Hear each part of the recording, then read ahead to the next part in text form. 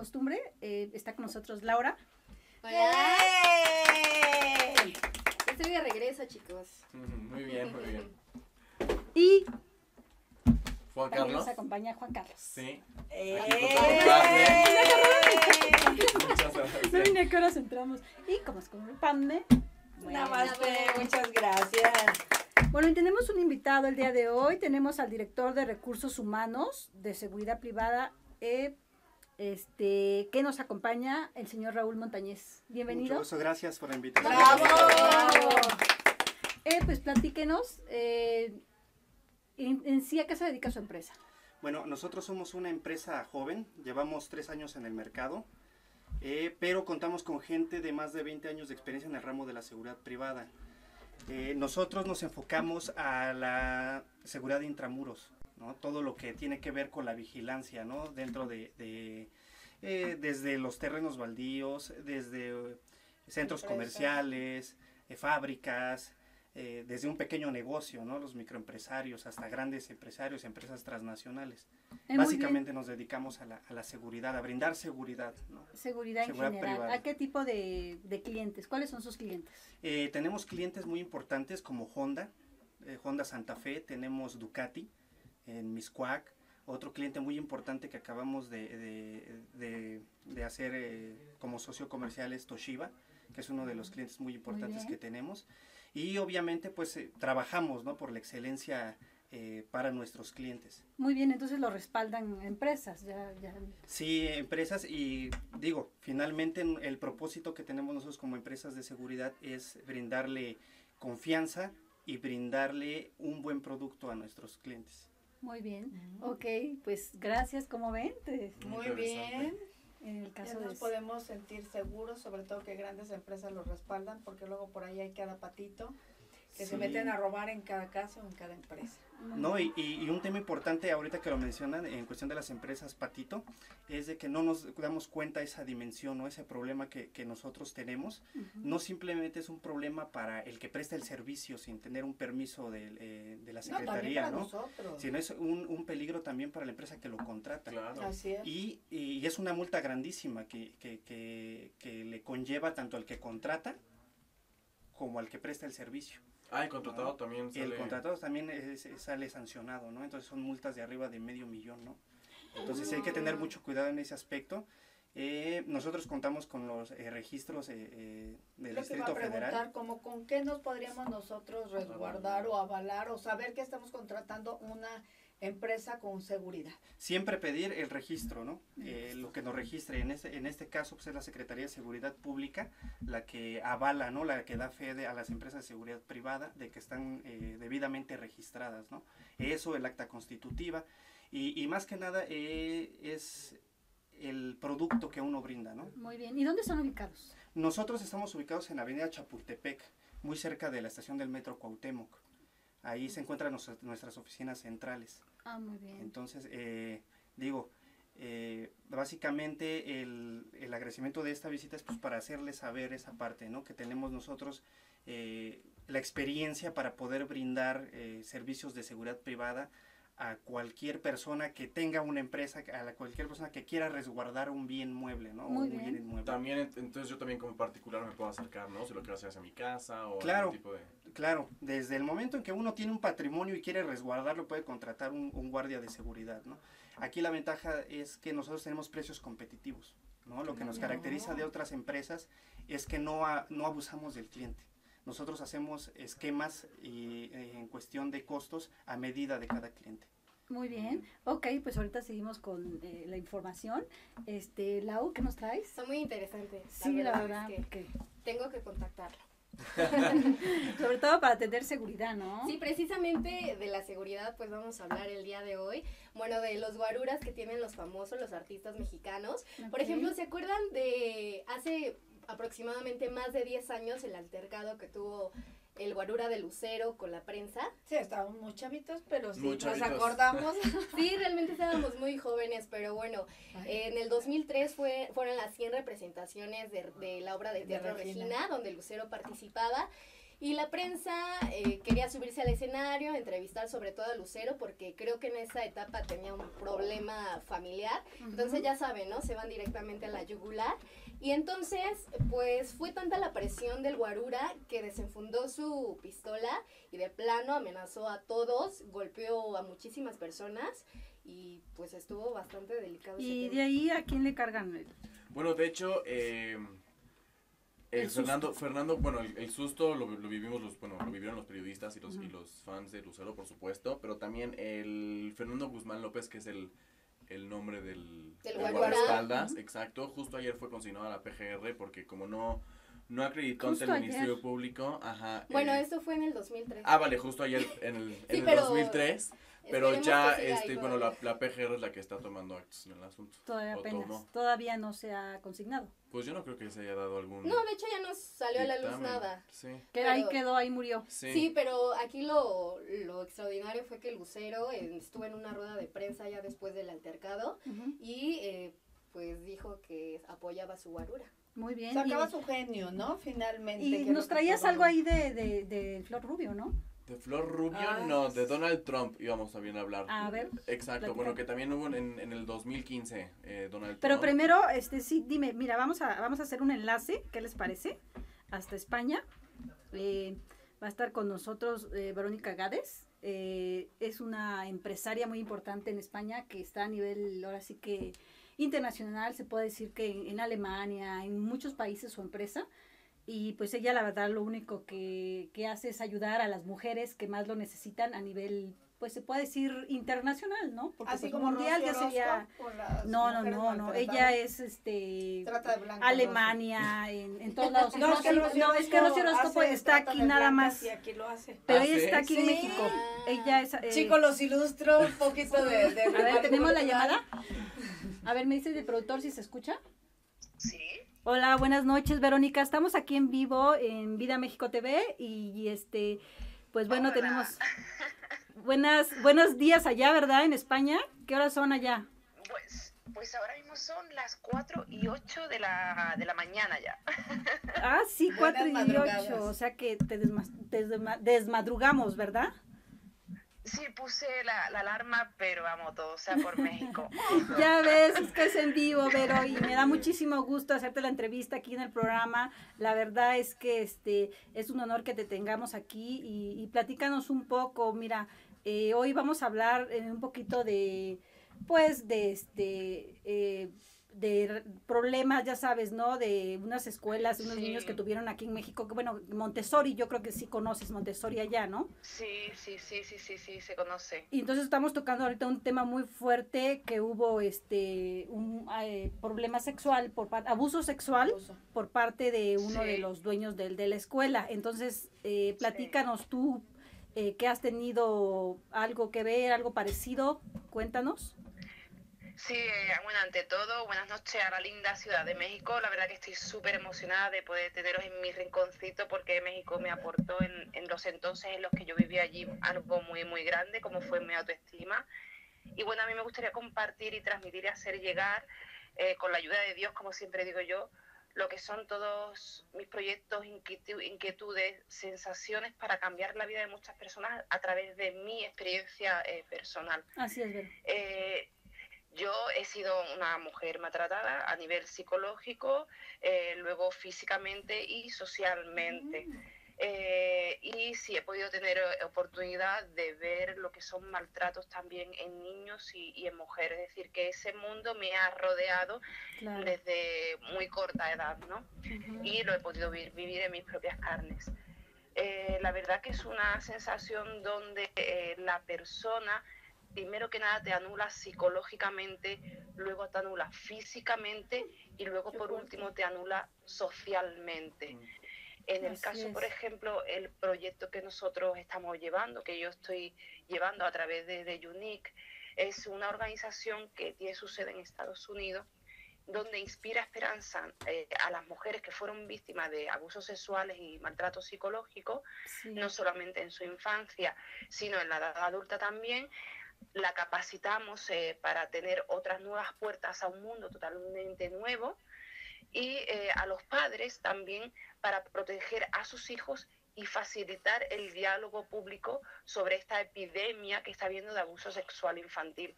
Algo eh, que tiene que nacer desde una educación principal, desde el seno principal de la familia, ¿cierto?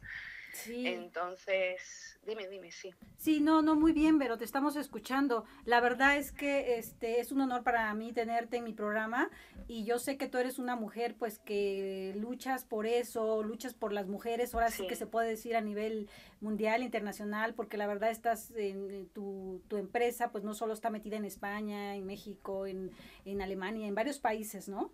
Eh, Sí, este, sí, sí, y es para ayudar precisamente a, a- a las mujeres para salir adelante, ¿no? Cuando las mujeres no pueden solas. ¿Sí? De hecho, eh, yo eh, o sea, estoy intentando de meter lo que es una ley de conducta, ¿vale? Que yo pienso que esa ley de conducta es el pilar fundamental para tener un éxito no solamente personal, sino un éxito en todos los niveles de tu vida. O sea, a lo largo de mi experiencia en la vida me he podido no solo dar cuenta, sino sentir que el éxito de los demás es bendición para mí. ¿vale? Ok. Y que el primer pilar para ser feliz es tener un único credo, una única, eh, una única y poderosa eh, situación para comenzar. Y la única, el único credo que es es trata a los demás como te gustaría ser tratado. Si a partir de ese credo Totalmente de tú contigo. desarrollas todo tu potencial, desarrollas todo tu camino para trabajar, para cambiar vidas, desarrollas otras cuestiones. Yo animo a las personas que si en algún momento tienen una sola duda con alguien, una, una duda con un animal, una duda con un niño, algo, siempre ponte en los zapatos de esa persona y di, trata a los demás como te gustaría ser tratado. ¿Cómo me gustaría a mí que me trataran si yo fuese esa persona? Ya te haya dado un- una bofetada, eh, ya te haya dado eh, un beso, te haya dado una riña, cualquier cosa. Trata Pues a los demás como te gustaría Eso, ser muy bien, Vero. es la única clave, la única clave en este mundo para tener éxito en todo. Y a partir de ahí, desarrollar pues un activo importante que es eh, lo más valioso, es la gente, es decir, las personas eficaces son el activo más importante de una compañía, de una familia, de absolutamente todo. Muy Eh, bien. a partir de ese letrero de Ujú. trata a los demás como te gustaría ser tratado, se desarrolla el hazme sentir importante. O sea, todo el mundo lleva colgado del cuello un letrero invisible que dice hazme sentir importante. Ok, pues me da, me, da muchísimo gusto tu mensaje, la verdad es que se oye bastante bien y para mí es un honor que me hayas invitado a participar, la verdad, este, eh, pues en lo que yo te pueda ayudar, pues ya sabes, yo ando en lo mismo aquí en México, eh, en todas las asociaciones Sí. que yo puedo ayudo y bueno, no me gusta mucho comentarlo ahorita porque pues queremos darle como más eh, publicidad a, la- a- a- a- tu empresa que es para precisamente para ayuda y por eso fue que se hizo este enlace. Eh, yo sé que eres una, una mujer bastante pues valiente por todo lo que haces y la verdad es que muchísimas gracias Vero, Eh, un fuerte abrazo, este te mandamos todos los que estamos aquí Todos. Un aplauso Saludos. también porque es una Sí. guerrera. hasta España y pues esperemos tenerte pronto en otro enlace. Este, muchísimas gracias y ahora sí ya te dejamos dormir tranquila. Sí. Beso, Berito. Sí, Bye. yo, yo mi objetivo de este mes de mayo son 100 mujeres mexicanas. Muy Muy bien, bien. gracias, beso, hasta luego, bye, Vero. Rescatando Muchas así gracias. mujeres. Bye. Pues como ven, este Vero, ella es este, ahora sí que desde España nos, nos hizo un enlace, es una empresaria pues bastante importante, tiene una empresa muy grande eh, a nivel internacional, no solo, ya verán la marca, no solo está en, en España, está en, en- ahora sí que se puede decir que a nivel mundial porque está en Alemania, está en, eh, aparte en- que hay en tantos varios y, apoyan a las mujeres, o sea, realmente, y la verdad para mí es un honor que una persona como Vero me haya invitado a participar, ser parte de esta asociación, o sea, ella me ve como, como el enlace de México y pues la verdad es Qué que... bueno. No, y que tenga la fuerza ¿No? ella, ¿no? Interna también en salir adelante y luchar Claro. y ayudar a la gente que ha Mira, pasado que siempre pasó también. Yo, yo te voy a decir algo, siempre que pasa, siempre que estamos apoyando o que estamos metidos en estos, es porque algo nos sucedió. Así es es. porque no crean que la vida es este como no- como nos ven, ¿no? O sea, y más nosotros que somos públicos, ya tenemos una vida pública, este a veces nada más ven lo lindo, pero no ven lo que hay detrás de uno y por Claro. qué uno empezó este pues a hacer lo que está, está uno haciendo, ¿no? Pero bueno, vámonos a cosas alegres y, no- y a ver Juan Carlos. Recapitulando un poco con las mujeres y los guardaespaldas, no Ajá. se queda solamente en, en escándalos negativos, sino también en famosos que buscan la protección de estos, bueno, de los guardaespaldas para pues un poquito, eh, separ- bueno, poder eh, sentirse más seguros, ¿no? No solamente en México, también como Talía, Nueva York, por ejemplo, Sí. en donde su guardaespaldas, que no quiso revelar nombres, nos confirmó que eh, para él es muy importante, eh, bueno, aparte de que recibe un bastante buen sueldo, recibe, él cobra 200 dólares por hora, que son Oh, como unos wow. 8 mil dólares a la semana, de solamente guard- siendo guardaespaldas, pero que eh, para él lo más importante es la vida de la persona a la que protege. Entonces, a partir de aquí, yo creo que también Talía podría estar bastante bien segura en que va a ser protegida, ¿no? Sí, y además de que hace algunos años secuestraron a sus hermanas Laura Zapata y, y es- Ernestina Sodi. Ernestina Sodi. Obviamente ahí redoblaron seguridad al máximo y obviamente pues yo también este, pediría seguridad en todos lados. Muy bien, y la nota que nos traían la, de La hoy. nota, la buena, La la de- de, la los jugosos. fresca. de Primero empezamos Chisme, con chisme. Donald Trump. Ajá. para concluir con los guardaespaldas. Y que el hombre es muy la querido en México. Este, Donald Trump también uno de sus guardaespaldas, y saliendo de su, bueno, saliendo Donald Trump de sus oficinas, Ajá. tuvo una manif- bueno, un inmigrante mexicano se le, se le encaró y el guardaespaldas también tuvo actos violentos contra el inmigrante mexicano. Ah, ¿sí? bastante. Entonces también Sí, fue algo bastante sí pelado. Bueno, por, por parte de, de la prensa. Y el chisme jugoso que lo trae Lao. Lau, cuéntanos. De, y de Flor. Rubio y Pepillo Origel, ah bueno pues eh, yo no sabía que lo había mencionado alguien más. eh, ¿Quién inició la, el problema en sí? Porque yo sabía que Pepillo Origel era quien había comenzado a decirle a Flor Rubio que gracias a que pues bueno, se cayó en varias ocasiones. bueno, que estuvo con varias personas de ahí de, de producciones, pues estaba donde estaba. Ok.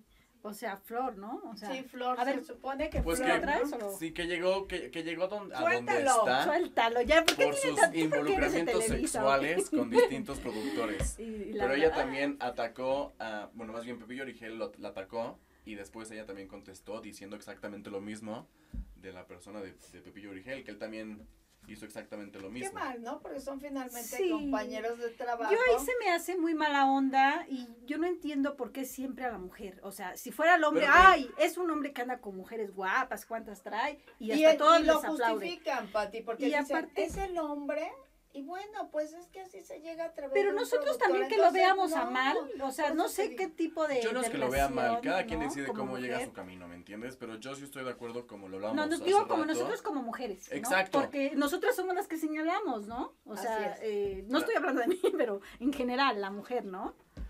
Bueno, es que de hecho Pepillo Origel ya había tenido problemas en TV Azteca porque anteriormente, ¿se acuerdan? Estaba en Ventaneando y tuvo problemas con Pati Chapoy, entonces como que... Bueno, yo sé que sí, el señor es problemático también, o sea, tampoco Misógino tiene... hablaríamos también. Exacto, ¿Quién? Pepillo. Pepillo. Origel. Sí. Pero yo creo también en que ante todo el respeto y si es compañera tuya... eh, Debe de pues, tener cuidado de lo que dice, humano. ¿no? Aparte, yo creo que si estamos, o sea, como siempre, siempre les hemos comentado, terminamos aquí, pues vámonos a un cafecito, ¿no? Porque no podemos seguir hablando. Exacto, Entonces, este, esos comentarios como que hacerlos ahí mismo, bastante fuerte, ¿no? bastante. y- ¿Y, con qué objetivo? Y lo peor de todo, ¿sabes qué? Que la propia mujer es la que siempre ataca a la otra mujer.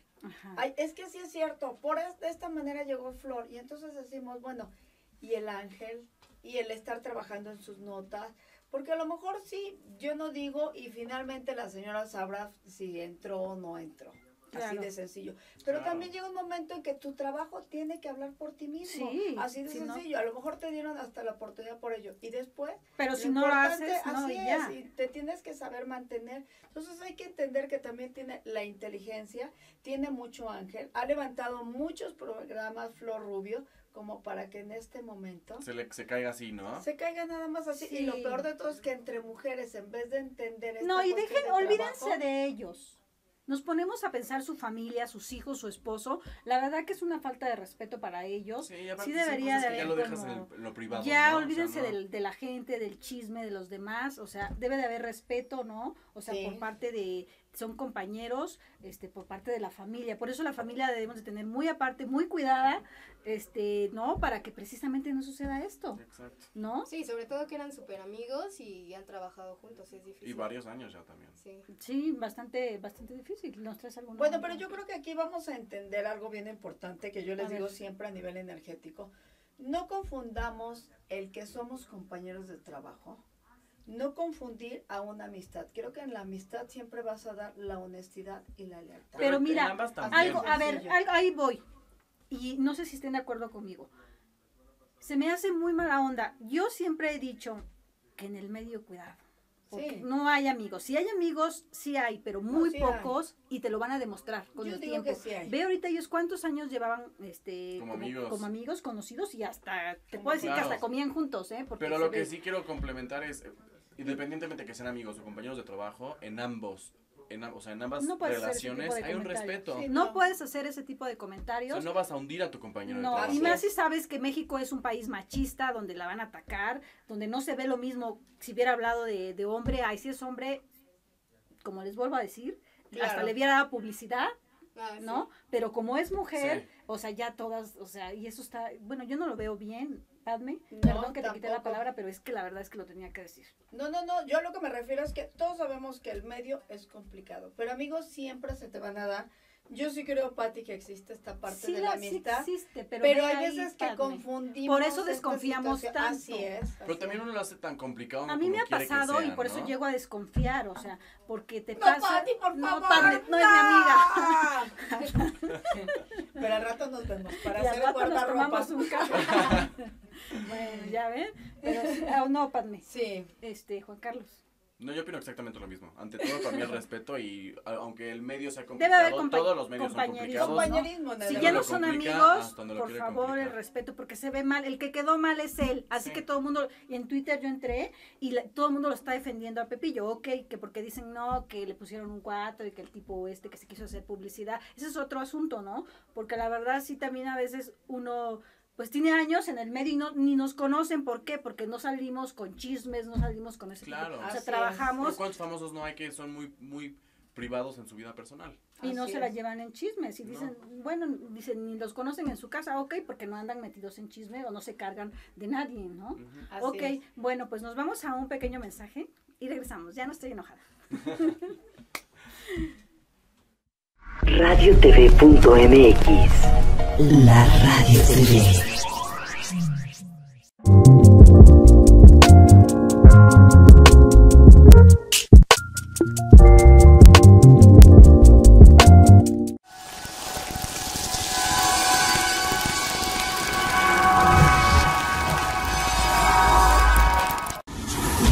Deja que la imagen alcance tus oídos. radiotv.mx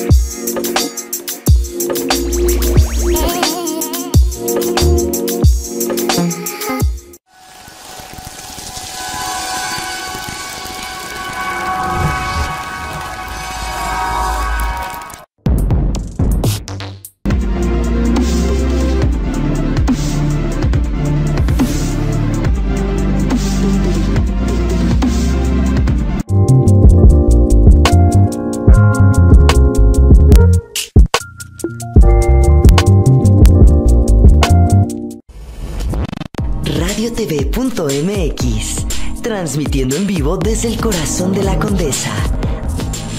Alfonso Reyes 190. Bueno, ya estamos de regreso y la verdad es que extrañamos los, los chismes del espectáculo, ¿verdad? Como es Por eso tenemos a Laurita. Lau. Claro que sí, pues seguimos, seguimos, con el el caso de los de los guaruras, de los artistas mexicanos. Y bueno, Alejandro Fernández obviamente está muy bien resguardado, va a todos los palenques con bastante seguridad. No sé si se acuerdan, hace algunos años igual secuestraron a uno de sus hermanos. Sí, Y de hecho, el dedo. exactamente, le, le quitaron un dedo. Y pues bueno, él es uno de los artistas más resguardados de México. Y este, pues no sé si se dieron cuenta, bueno, si se enteraron que en abril, marzo, ¿no? El 27 Fue de Juan el 27 de marzo, eh, Alejandro Fernández estaba en condiciones un poco... eh, Dilo, suéltalo, suéltalo. etílicas y lo iban a entrevistar y se lanzó a los golpes totalmente. Cosa que Ah, no sí, defiendo, Alejandro. pero... Sí. Él eh, es muy tranquilo y aparte se lleva muy bien con los medios. sí, bueno, pues también cuando estás borracho y cualquier cosa que te dicen, pues explotas. Estaba tomado, entonces. Sí, estaba tomado. Sobre todo entró con una chica despampanante güera como ustedes. Bueno, Bueno, que no éramos despampanante, nosotras. Y, No, no tan despampanante porque no íbamos las dos. bueno, y de hecho la chica salió corriendo y fue eso como que lo prendió más y empezó con los golpes y demás. A lo que voy es que... Es que la chica se espantó. Yo, bueno, ahí por alguien me contó un- una palomita que la chica se espantó y salió corriendo porque no quería que lo vieran los medios con él. Sí, Mm. precisamente puede Pero ser eso. bueno, Alguien ten- me lo platicó, ¿eh? yo no, no lo defiendo ni lo justifico, pero el hecho de que haya sido el que hace- se haya enfrentado directamente con los medios y con, y con, con la gente y no haya mandado a, Sí. a sus a sus guardaespaldas, pues lo hace humano, ¿me entiendes? No lo hace como, Sí, el, ay, hoy mando mis mandados. No, es muy sencillo, es una persona muy sencilla y la verdad con los pies en la tierra y eso la verdad es gracias a su padre que se lo ha enseñado. Bueno, Sí, eso digo yo, Claro. porque se ve, ¿no? La Sí, sencillez la de la familia Fernández. es Claro. imitación. Contrario a, los- a Luis Miguel, por supuesto, No, en donde Big Daddy, el No corpulento es el personaje. sol. Bueno, sí, bueno, sí no importa, pero es muy fuerte que en uno de sus conciertos es muy fácil para él. En pleno concierto se les abrocha una agujeta en el zapato. Entonces llama a Big Daddy o alguno de sus de sus este guardaespaldas y los hace que se arrodillen, les pone el pie en la rodilla y hace que le abrochen el, el zapato. Evidentemente sí, estás en concierto, pero se ve mal. Sí, la verdad sí. Incluso lo han parodiado muchísimo en algunos programas porque él está cantando y ni siquiera, o sea, están así de plano agarrándolo. Alguno de sus guaruras se cayó una vez encima de todas las personas que estaban ahí en un concierto. Y digo, les, les pagan súper bien, pero hay cosas como que Claro. no van. Y también tienes el otro lado de la moneda, que son estos artistas como Enrique Iglesias, por ejemplo, que contratan su seguridad ya en el lugar al que van. Si tienen concierto en el DF, bueno, en la Ciudad de México en México, llegan a México y aquí contratan su seguridad, los acompaña en el recorrido o en el tour en, en la República y ya cuando regresan a su Bueno, porque país. también obviamente Enrique Iglesias no tiene la plusvalía que puede tener el sol. Así de Claro. sencillo. Entonces te es mucho más fácil al país donde vas puedes hacer este tipo de contrataciones. On- Pero ¿qué pasaría, perdóname, este Juan Carlos, qué pasaría Laura con los guardaespaldas que de pronto resguardan a una figura que se subió en una hoja de papel? Ups. Está... Pues yo No, creo que, no, yo creo que nos ya... traes unas notitas de ella para la otra, ¿cómo ves, Pati? Sí, Aquí está para agarrar más, Sí, más, más, Lau, más a echarle más jabón. Yo- Y ¿qué ta- nos traes? Yo creo que llega ahí el, con el- como el ego, ¿no? De cada persona, o sea, el te subes al papel y te sientas en, en, en un lugar donde no tienes que estar y aparentas. Sí, sí, por eso te digo, hoja de papel, ni siquiera ladrillo. ¿no? También Pepe Aguilar, eh, a a pesar de que es una persona muy alta, siempre le gusta estar rodeado de muchas personas. En sí no tiene guaruras porque no le ha gustado mucho, sin embargo sí se rodea de bastantes Y personas. también se rodea de, malas personas. Hay que debe de tener mucho cuidado, por ahí me enteré de Pepe Aguilar. En serio, eso Chisme no. Muy fuerte, eh, sí. la Dilo, verdad. Eh, dilo. Sí, Ya, cuéntalo. diga, ya. no, mejor en otra ocasión. Sí, la Bueno, decir cosas Continuará. Continuará para la siguiente, para el siguiente Para el programa, siguiente ¿no? programa. Después también Lupillo Rivera, que eh, aunque lo tachen de exagerado y ostentoso, prefiere traer gente a su lado que lo proteja a sufrir las consecuencias. Este, él comentó alguna vez, y lo voy a leer, que hasta por traer guaruras lo han criticado y que él prefiere, prefiere cargar con gente que lo protege a sentirse inseguro. Pero algo muy importante, o sea, en ciertas ocasiones pues sí nos han puesto guaruras y lo que tú quieras. Los guaruras no deben de estar aquí contigo, deben de estar como tres, cuatro, Sí. este, si es posible cuadras, van a decir metros, que no se den cuenta, si no entonces no son guaruras. Pues sí, pero en México, en México ha caído también el, el tema guarura o el concepto guarura en el que te está siguiendo. Son más y- guarros, ¿o qué? Sí. De hecho, así les decimos. Bueno, así les dicen algunos. Y en México somos un país muy, o sea, que nos encanta que nos vean y que nos encanta llamar la atención. No y todos, dentro no de, todos. No todos, no todos, no generalizo. Pero, el traer guar- guaruras y pegados a ti cae en este Ay, juego. no, qué espanto. Lupillo Rivera, por ejemplo, eh, pues hace unas semanas tuvo un intento de secuestro y precisamente por eso le gusta estar, igual que, que Pepe Aguilar, rodeado de muchas personas, pero la seguridad sí Por es indispensable. seguridad. Pero Lupillo desde que iniciaba su carrera, Lau, o sea, en realidad todavía ni siquiera se daba a conocer y ya para hacerse notar ya había contratado sus guaruras. Es de los que hablábamos de lo que se montaban en un papel. Así es para que precisamente Ok, se Bueno, notara. pues muchísimas gracias, Lau, por acompañarnos. Los extrañé de verdad. Este, Muchas gracias, bueno, Pati. Saludos a mucho- todo el mundo, a Rodrigo Muchos un amigo que me enlaces, pidió muchas, saludos. eh, pero bueno, ya estamos. Nos vamos a un pequeño mensaje y regresamos. No se vayan, por favor. radiotv.mx La Radio TV.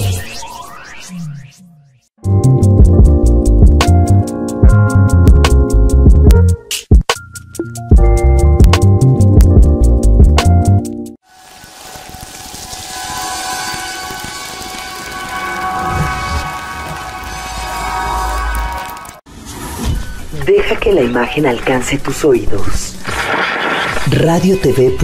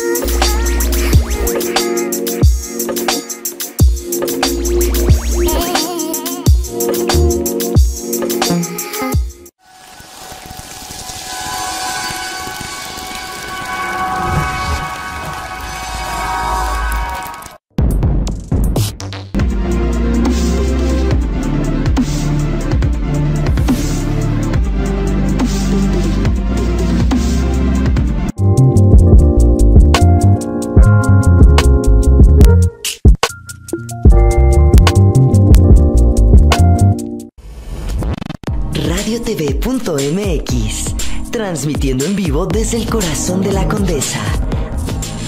Alfonso Reyes 190. radiotv.mx Deja que tus ojos nos escuchen. radiotv.mx La Radio TV.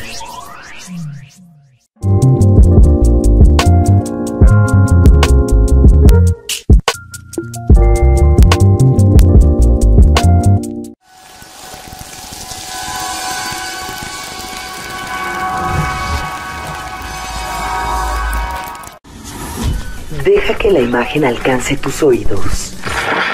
radiotv.mx Radio TV.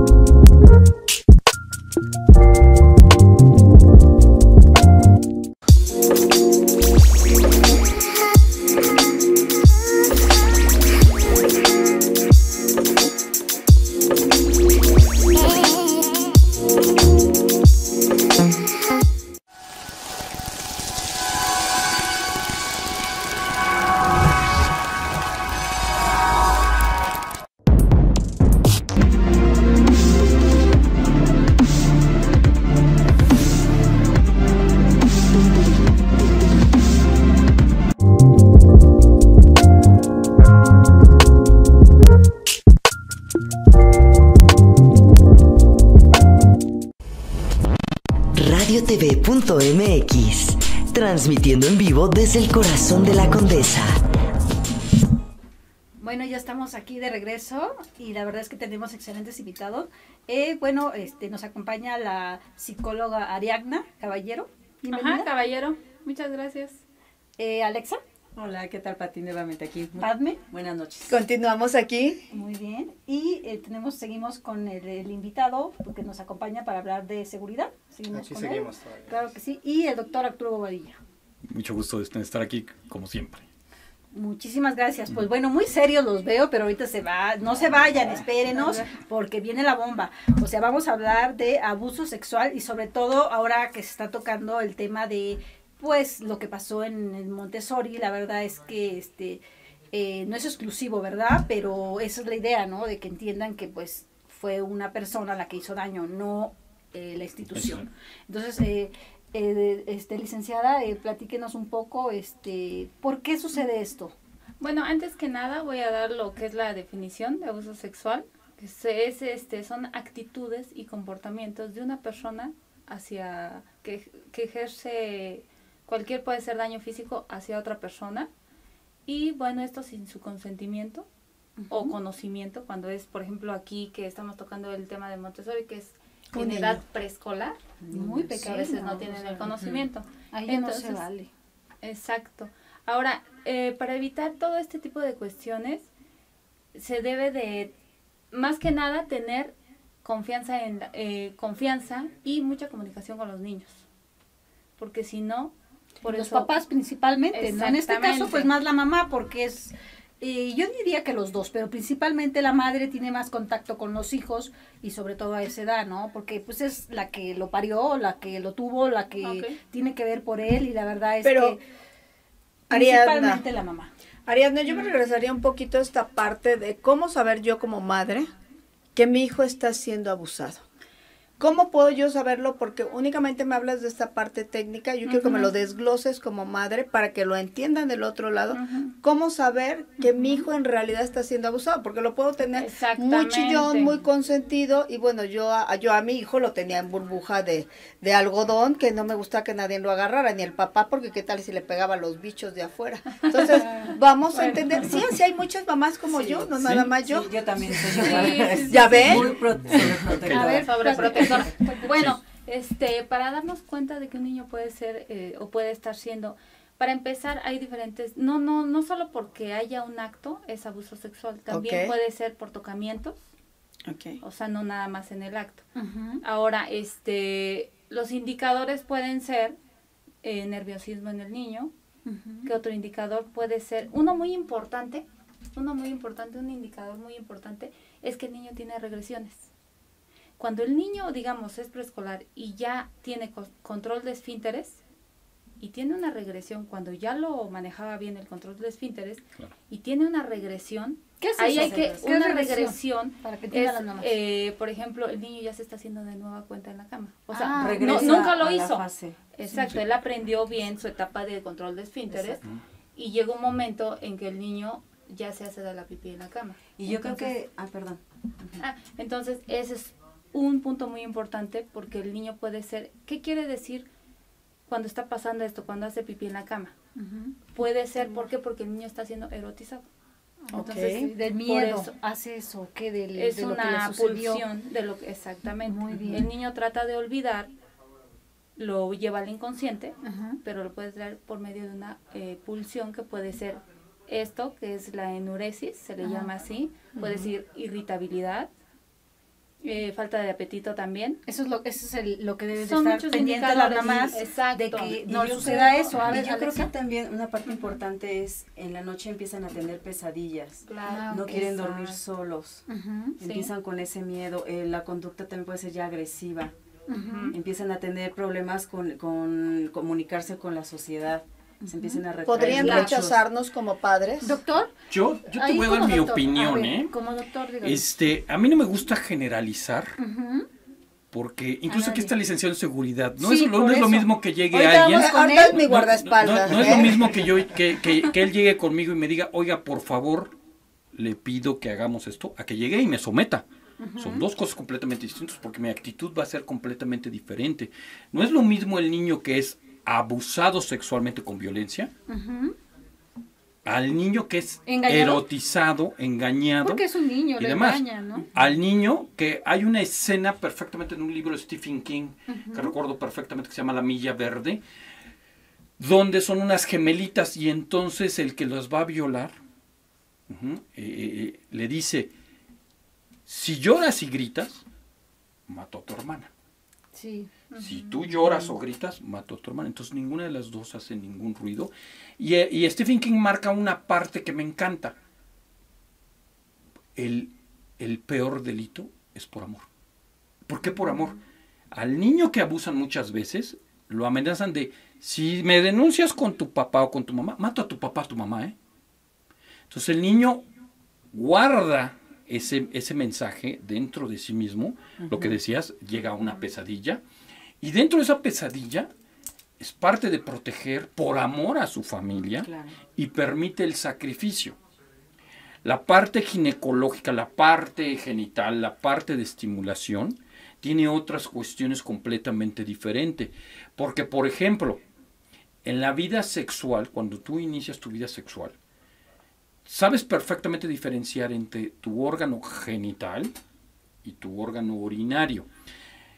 En ambos están integrados en la misma área. En la mujer tiene el meato, donde- donde- eh, una palabra italiana de que, que viene de mear, de Sí. orinar, por eso se llama meato, que es el hoyito, y la vagina, que están separados. Sin embargo, están juntos. Y en el caso del hombre, todo va en el mismo compacto, o sea, va en la uretra, la misma vía genital y la, mía- la misma vía urinaria. Cuando tú eres adulto o eres adolescente, tienes ese control de, de poder diferenciar que vas a orinar o que vas a tener una relación sexual. ¿Por qué? Porque tienes conciencia, con la ciencia, el aprendizaje de que lo quieres hacer. Porque cuando inicias tu vida sexual, a lo mejor muchos de, de nosotros nos acordamos. Yo, por ejemplo, pues como acabo de empezar, a lo mejor este... eh, em, lo recuerdo en el sentido de que cuando eres estimulado genital, hace dos días. si dices no te orinas, sí, yo acabo de empezar mi vida sexual, entonces por eso lo recuerdo. Pues sí, entonces, sí. eso, eso que dices, pues Pero, sí. ajá, y, y ahí es donde te digo, el niño no tiene esa conciencia y entonces no diferencia los genitales. Ok, doctor, eh, algo como en, pues, en mi área de criminología, yo Ujú. pues sí le puedo decir que este tipo, bueno, el presunto culpable, porque todavía no se ha consignado, Claro. es una, es un, es una persona que trae pues algún trauma de niño, eh, alguna Siempre. enfermedad, eh, algo fuerte. No es así nada más porque sí. Este, lo que sí, pues, eh, es una falta de, pues, imagínese de la confianza que los padres le tuvieron a la directora, que es la esposa de este señor, y que miraban que sacaban a, a los niños, esta señora del, del- de la salón. escuela, o sea, lo sacaban de la escuela, lo sacaban Sí, lo fuera, sacaban fuera. O sea, no, de la escuela creo que lo llevan a otro, a otro lugar, a donde los llevaba, ¿no? Entonces, este, yo digo que eh, eh, ahí hay algo muy fuerte. O sea, porque son niños de, eh, tengo entendido, de dos a tres años, no sé si más edad. Sí, son son preescolares. preescolar Sí. y muy sí. pequeñitos, preescolares, o sea, eh, se paralizan los niños, ¿no? Entonces, no es tanto que los niños no quieran decir ni hablar, sino como que nosotros entendemos, no sé si recuerdan cuando eran niños, cuando pasaba algo así como que nosotros Claro. nos te quedábamos así y no decíamos nada, aunque no nos no amenazaran. Claro. ¿No recuerdan eso? Sí, Así Sí, claro. te paralizas. Ajá. Ahí, so- ahí son dos temas, ¿no? Obviamente que estás manejando, que es muy interesante. La primera parte es el, el victimador, el, el delincuente, finalmente tiene una parafilia, una, o sea, una perversión que se llama paidofilia o pedofilia. Y él, y él finalmente siente el deseo por un niño y el cómplice, que es la esposa de este Eso, individuo. bueno, hasta ahorita eso, eso se ha comentado, ¿verdad? Ajá. No estamos seguros Claro. porque no se han consignado. Claro. Pero y, sí. y la segunda parte es tanto mata, tanto peca, perdón, el que mata a la vaca como el que le alta la pata. ahí va. La falta de educación sexual, y sobre todo en este país con una serie de mediocridades en cuanto a la sexualidad y los tabús, tenemos un problema. sí. Te voy a poner un ejemplo. Yo, yo cuando les doy curso de sexualidad y prevención de delitos sexuales en, en- en un curso, siempre les explico algo que es muy importante. Yo a mi hijo, por ejemplo, jamás le lavaba los genitales. Yo le lavaba el cuerpo desde muy pequeño, desde que tenía un año. Y cuando se trataba de lavarle los genitales, lo que hacía es que le daba el jabón y le decía, lávate tú. Le explicaba Muy con bien. mi cuerpo. Eso, eso es importante. y- ¿Por qué? Porque así ellos este, se acostumbran y ellos claro. cuando alguien los quiere cuerpo. tocar dicen, ¿por qué? Claro. Es que sí, Dámelo Sí, exactamente. Claro, Yo- le, le no. enseñas a tocarse a sí Claro, mismo de y ahí eso es donde viene la parte interesante, porque cuando Ya el niño se acostumbra a que él se va a lavar los genitales. El día que lo toca cualquiera, cualquiera, ¿eh? Ese día te va a decir, oye, fíjate que me tocó el maestro y demás. Bueno, pues Pero ya, cuando las todo el mamás que nos están ¿sí? escuchando, espero que pues así tomen como algunos Vayan tomando notas. Sí. A ver, este aquí el, el licenciado, bueno, este el, el señor Raúl Montañez, eh, que él está en seguridad. ¿Ustedes hasta dónde pueden entrar ahí? O sea, ¿les permiten estar al cuidado eh, hasta cierta área o ustedes pueden, eh, hay forma de que puedan ver, cuidar ese tipo de Eh, detalles? bueno, básicamente en nosotros, eh, en la cuestión de la seguridad, eh, se llama seguridad intramuros. ¿Por qué seguridad intramuros? Porque cuidamos dentro, dentro de la instalación. Ajá. En este caso, en, en las escuelas es un, un tema muy delicado, ¿no? Como comentaba el doctor. Eh, nosotros formamos a nuestros guardias, que es lo que nos hace diferentes a otras empresas con educación. Eso es muy importante, ¿no? No tenemos a una, a una persona que está mal parado, que está mal vestido, que es un grosero, ¿no? La educación, eh, los cursos que nosotros eh, les damos como atención al cliente, atención telefónica, manejo de crisis, los lleva a poder realizar su trabajo de la mejor manera, ¿no? Claro. Nosotros no somos autoridad, esa es una realidad. No somos autoridad, pero podemos coadyuvar en la Y seguridad. por ejemplo, ¿portan armas algunos? Eh, ¿Con no, permiso? no, con permiso se puede. Nosotros en Si se esa los cuestión, pide la, la institución. ten- eh, se saca un ¿O la permiso de portación de arma, ¿no? Se- Ah, eh, ok. Que es este, ya por medio de la Sedena y es un, un trámite totalmente Pero ustedes diferente. también pueden hacer eso. Nosotros estamos en proceso. En proceso. En proceso Ahorita, de hasta nuestra... ahorita es sin armas. Sin armas, Seguridad, nada más. Este, ¿qué Seguridad llevan? intramuros. Como un Este, ¿Cómo lo se que es el PR24, tonfa o, o gas. gaslight. ¿no? ¿No? Eh, lo que intentamos nosotros es mitigar todo eso, ¿no? La Cuidar. agresión Pues no para se, eso están ustedes, ¿no? Para se arregla cuidar con que la no agresión. suceda ese tipo de cosas, ¿no? Así es. Exacto. Es como cuando vamos al súper, ¿no? Si estamos Y es lo que deberían algo, de hacer, ¿no? ¿Cómo ves? Que las escuelas ya tengan a alguien de seguridad que esté vigilando también a los niños. O sea, eh, algo muy importante que decían es las cámaras, que ya la mamá desde el trabajo puede estar viendo, Sí. este, pues Sí, a, ya a los hijos. Ya existe, ya existe, Pati, como tal. Pero imagínate el. Montessori, ¿cómo es posible que no lo tenía directamente que las madres por internet? Pues, este, eh, yo haría eso. Por algo no lo tenían. Lo, lo- ¿No? Y siendo Este, una institución muy reconocida, Así eh, es. Montessori realmente sí también a mí me extraña porque yo conozco escuelas particulares que sí tienen seguridad Pero creo que aquí nos cámaras. regresamos un poquito, que a mí me gustaría a Sí. poderles decir a las mamás en esta parte del abuso, que también tiene que ver no nada más parte genital, sino que también creo que ustedes como psicólogas las pueden orientar en decir qué pasa también cuando no te va, cuando no te toquen, cuando viene el abuso mental, cuando viene el, el abuso incluso de agresión, porque son otro tipo Porque de ahí abuso. fue oral, ¿no? Así es. Este caso fue oral. Yo, yo creo que O sea, también sí, algo importante es que le enseñemos a nuestros hijos eh, que, le, que ellos también vean, estén al pendiente que si alguien los va a tocar, que decirles, "Mm, si tú te sientes raro, es algo que te está incomodando, háblalo, Ajá. dilo. Y darles la confianza sobre todo, bien. porque sabes que muchas veces no les creen. Mira, algo muy importante para las personas que nos están viendo y no saben del tema. eh, esto sucedió, este, una, que una niñera, ¿no? Una niñera, este, se dio cuenta porque el bebé le, le- pues, lo estaba bañando y le decía, este, te voy a dar tu medicina y el bebé se agarraba su, su pene, ¿no? Y entonces eh, la niñera, bueno, Le dijo, ¿qué le "Abre la pasa al boca". bebé? No, abre la boca, te voy a dar tu medicina, pero Sí. el niño así. Entonces pasaron así y la niñera le avisó a la, a la mamá del niño. Entonces de ahí empezó la Que muy buena niñera. Sí. Entonces imagínense La mamá, la Muy buena de la madre. cómo es posible, No, pero ¿no? es, es permisible, este, Sí, Ariadna, sí, o sea, cómo sí, se dieron sí, cuenta. se da- sí es muy permisible esta parte Sí, porque sí, para ello contratas a esas nanas. Yo tuve mi nana ¿no? y en realidad Pero realmente con quien yo, te... te, yo, yo te diría, en- ¿sabes cómo soy? Sí. Principalmente el cuidado desde la madre. A esa edad, la verdad, Es son muy pequeños y por Sí. lo menos, o sea, la responsabilidad que se Pero tuvimos directamente y que nana, hubiera Pati. detectado, que lo hubiera detectado es la mamá. Ella Pati, se dijo. ¿no? Sí. el problema es la educación. Así Vuelvo es. a repetir. Yo Nadie da lo parte. que no tiene, ¿no? Y o sea, por ejemplo, eh, nosotros somos peritos en cada área. Y a lo mejor eh, para mí es mucho más fácil detectar una, una infección de transmisión sexual que para que para ustedes, ¿no? Pero a lo mejor para, para la licenciada Ariadna es mucho más fácil en- eh, ver un déficit de atención que yo.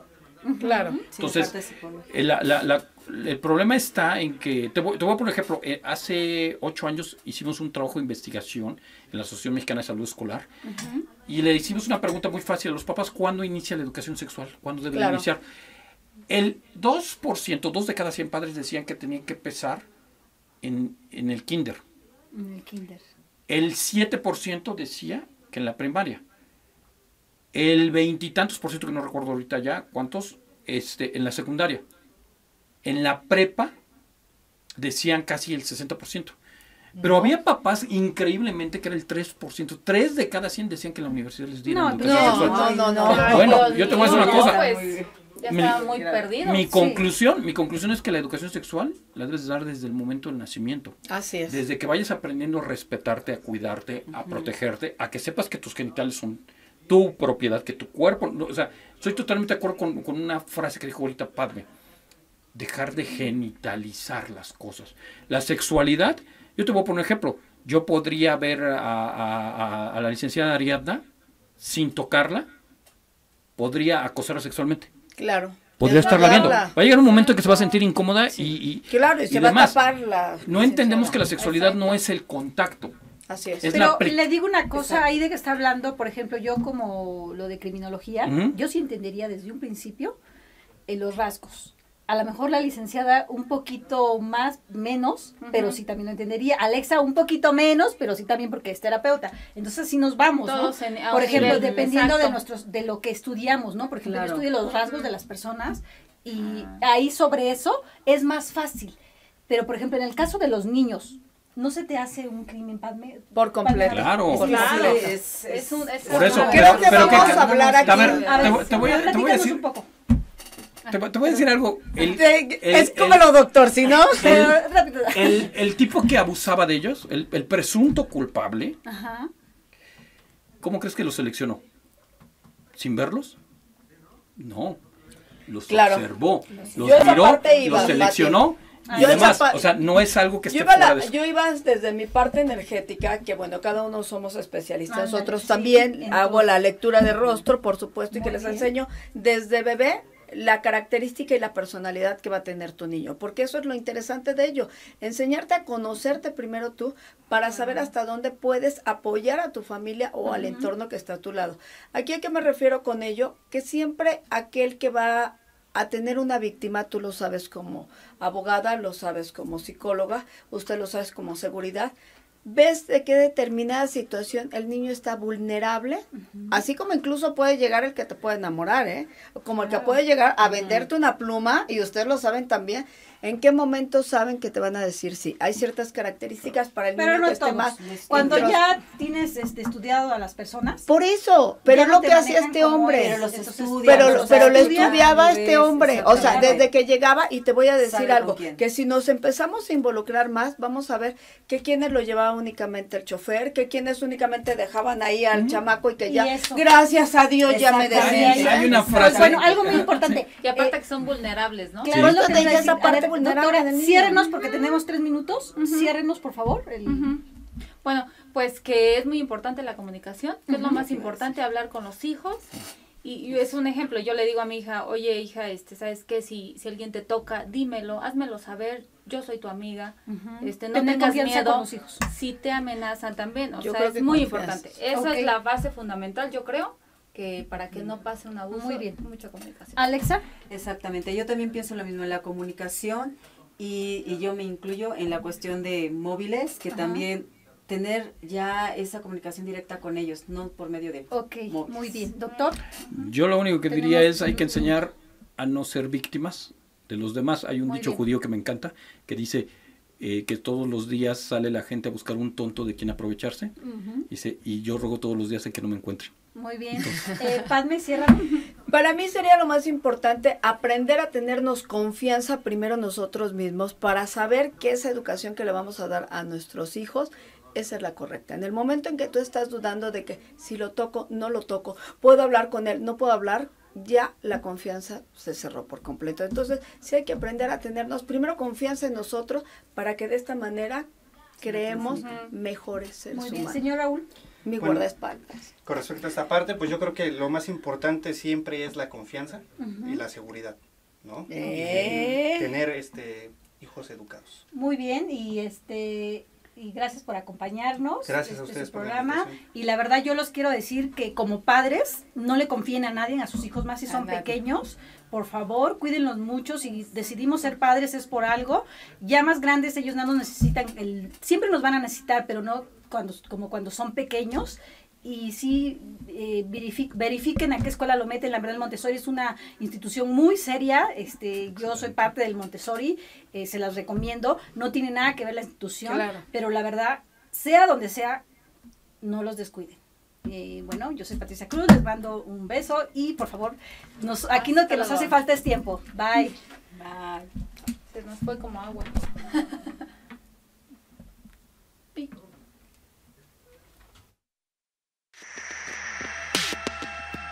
Radiotv.mx presentó